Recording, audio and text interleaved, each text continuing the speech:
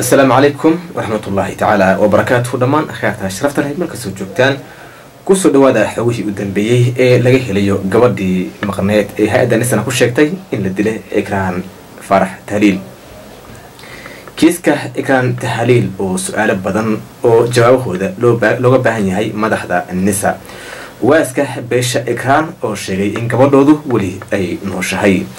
amiin jesow ayaa markii ugu horreysay waxa uu si ka duwan sidii hore oga hadlay kiiska ikraan tahliil. Culimmada soomaaliyeed oo si cara leh oga hadlay arrinka ikraan aamusnaanta madaxweyne maxamed cabdulaahi farmaajo iyo roob leh maxa ay ka dhigan tahay? Daawadayaal ku soo dhawaada qodobadaasi iyo kuwo kale oo faah-faahsan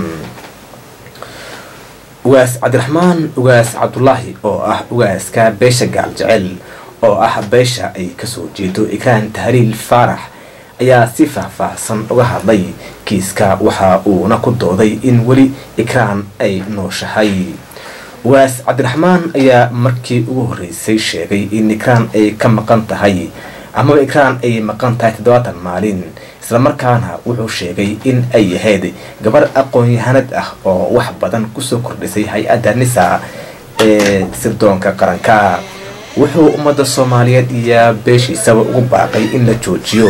Tacsida loo dhigayo ikraan tahliil isaga oo sheegay in gabadhoodu ay nooshahay oo aysan dhimanin islamarkaana ay ku tabayaan gacanta hay'adda nisa ugaaska ayaa sheegay in ay fahmi waayeen islamarkaana ay maskaxdoodu qaadan weysay wararka habeenkii jimcaha ka soo baxay hay'adda nisa oo ahaa in ikraan ay dishay ururka al-shabaab balse taasi beddelkeedii ururka al-shabaab ay iska diideen inay geysteen dilka ikraan tahliil waxaan aaminsannahay in gabadheenu ay ku maqan tahay gacanta hay'adda nisa waxaan filaynaa haddii ay dembi gashay waa qof bili-aadan ah waa in maxkamad la soo taago. Haddii ay wax dembi ah aysan gelina waa in xorriyadeeda la siiyo. Balse wararka ka soo baxay ama ka soo yeeray hay'adda nisa ma ahan mid aan qaadan karno ama maskaxdeenu ay yeeli karto ayaa u yidhi ugaas cabdiraxmaan. Ugaaska ayaa madaxweynaha waqtigiisu dhammaaday maxamed cabdulaahi farmaajo ku eedeeyey inuu xataa hal maalin uusan ka hadlin ama uusan soo fargelinin kiiska ikraan tahliil oo ah gabar u shaqaynaysay dowladda ama hay'adda nisa waxaa sidoo kale u sheegay in farmaajo u diiday la kulanka ugaaska waxa uu intaasi uu ku daray in haddii ikraan la dilay ee adduun iyo kharabah ay u haystaan madaxweyne maxamed cabdulaahi farmaajo. Waxaa kaloo ugaaska uu sheegay in wasaare roble isaga laftiisa eedda uu qeyb uu ka leeyahay loona gudbiyay kiiska ikraan balse weli baaqaasi uusan ka jawaabin ra'isul wasaaraha soomaaliya.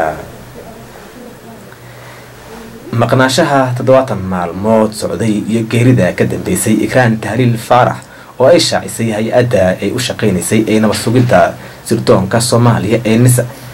waxay kicisay mawjad naxdin ah tacsi iyo diidmo iskugu jira waxaana ka dhashay su'aala badan kiiska ku hareereysan kiiska ikraan wuxuu mar kale bannaan ka keenay sida ay hay'adda nabad sugidda qaranka ay noqotay afartii sano ee xukunka maxamed cabdulaahi farmaajo. Mid isku bedeshay hay'ad lumisay sumcaddii horena waxaa loo siyaasadeeyey markii ay faraha la gashay arrimo fadeexad badan dhaliyey su'aalaha waaweyn isweydiinta mudan ee ku saabsan kiiska ikraan tahliil ayaa waxaa ugu horeeyo kow sidee loo afduubtay ikraan tahliil maqnaashaha ikraan tahliil wuxuu bilowday markii la waayay habeenkii lix iyo labaatankii juun labada kun labaatan kowda. Sida ay sheegtay hooyadeed waxaa soo wacay mid ka mid ah taliyaasha nisa oo gaari u soo diray. Kadibna halkaasi ay ka raacday gurigeedii meel aan ka fogeyn dhowr tillaabo oo weliba ah gudaha hay'adda nisa ayaa waxaa markiiba la damiyey teleefonkeeda waa meesha ay ku taalo hay'adda nisa ee degmada shibis magaalada muqdisho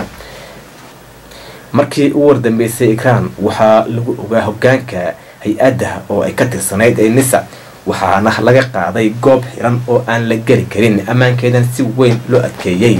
Telefoonkeedana isla markiiba waa la damiyey. Su'aasha labaad ee isweydiinta mudan ayaa waxa ay tahay iyo afduubtay. Waa su'aasha labaad ee furaha u ah kiiska ikraan tahliil hay'adda hooyada dhashay ikraan iyo mas'uuliyiin kale oo beesha ka soo jeedo waxa ay sheegeen in markii ugu dambeysay ikraan lagu qaaday gaari ay leedahay ama uu leeyahay mid ka mid ah madaxda ugu sarsare ee hay'adda nisa. Xildhibaan amiin daahir jeysow oo marar badan kiiska ka hadlay isagoo oo u muuqday inuu difaacayo hay'adda nisa wuxuu caddeeyey in xarunta nisa la geeyey oo la tusiyey gaarigii la soo geliyey baraha bulshada oo markii ugu horreysay ama ugu dambeysayba ikraan ay raacday marka baaritaan dhab ah jiro waxaa kiiska laga bilaabaa halka ugu dambeysay markii gabadha la waayey balse ma dhicin ay hay'adda nisa qaabkaasi si ka bedelan ayay u waajahday cadeymaha amaba gabadha sida loo waayey qodobka saddexaadii ayaa waxaa weeye yaa gacan ku lahaa afduubka ikraan. Haddiiba ay saxan tahay ikraan u gacan gashay al-shabaab. Sida ay caddaysay hay'adda nisa waxaa ka horreeya su'aal weyn oo hortaalla hay'adda nisa taasi oo ah yaa shabaab u gudbiyey ama u gacangeliyey oo afduubtay ikraan taliil. Su'aashani waxay jawaab u noqonaysaa tuhunka marar badan la soo celceliyey in ay wada shaqeeyaan amaba ay isku milmeen hay'adda nisa iyo ururka al-shabaab. Su'aasha afraad ayaa waxa ay noqonaysaa sidee loo xaqiijin karaa dilka ikraan maadaama hay'adda nisa ay sheegtay in ikraan la dilay. Nisa waxay markii ugu horeysay ka gaabsatay in ay haba yaraatay ay ka hadasho kiiska maqnaashaha ikraan tahriib walow markii ugu horeysay ay arrintani ay soo faaqday amaba ay ka hadashay hooyadeed oo hor timid warbaahinta iyada oo sheegtay in gabadheedu ay maqan tahay islamarkaasina ay ku maqan tahay hay'adda nisa waxaa kale oo markiiba la ballan in uu arrintani uu baarayo waxna ka soo saarayo taliyaha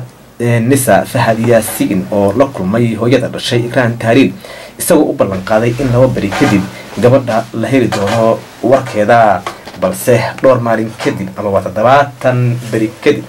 ay hay'adda soo saartay in la dilay amaba loo gacan gashay ururka al-shabaab. Inkastoo kiisku yahay mid kulula sirdoon haddana sida la wada aaminsan yahay hay'adda nisa uma aysan waajihin sidii loo baahnaa balse waxa ay u waajahday arrintani si gaabsi ah. Agaasimaha nisa iyo madaxda hay'adda markii lagu daro madaxweynaha xilkiisa ka dhammaaday maxamed cabdulaahi farmaajo ayaa waxaa loo haystaa kiiska ama inay ku lug leeyihiin kiiska ikraan tahliil dalada culammada soomaaliyeed oo ugu horeeyo guddoomiyaha culimmada sheekh bashiir ayaa waxa uu ka hadlay markii ugu horreysay isagana kiiska ikraan tahliil isaga oo sheegay in dowladdu ay mas'uul ay ka tahay dadka iyo diinta intaba balse kiiska ikraan sida hadda ay dowladda ay uga hadashay aysan ahayn lana doonayo in dowladda ay iska saarto xil kaasi oo loo baahan yahay in baaritaan hor leh in lagu sameeyo kiiska ikraan xal waarana loo helo. Haddaba aamusnaanta madaxweyne maxamed cabdulaahi farmaajo maxa ay ka dhigan tahay inta badan dadka eedeynaya ama eedaha soo jeedinayo ayaa waxa ay ayda ay u joodinayaan. Ra'isul wasaaraha soomaaliya iyo fahad yaasiin balse waxa ay marna aysan soo hadal qaadaynin madaxweynaha soomaaliya maxamed cabdulaahi farmaajo. Taasi beddelkeeda dadku waxaa inta badan ay leeyihiin kalsooni la'aan laga muujinayo madaxweyne maxamed cabdulaahi farmaajo iyo in uusan haysan sharciyad ah in uu arrintani uu ka hadlo kiiska ikraan tahliil ayaa inta badan dadka markii laga hadlayo ayaa waxa ay ku lamaanayaan kiiskii ka horreeyey ee ahaa qalbi dhagax kaasi oo ilaa hadda uusan ka hadlin madaxweynaha soomaaliya. Dhanka kale ra'isul soomaaliya roble ayaa isaga laftiisa ilaa hadda wax guddi oo u xilsaaray intaasi aysan jirin weyna uu ka hadlin. Daawadayaal waxaa intaasi noogu dhan kiiskii ku saabsanaa ikraan tahliil intaan barnaamijkan kan xig kulmeyno nabadgeli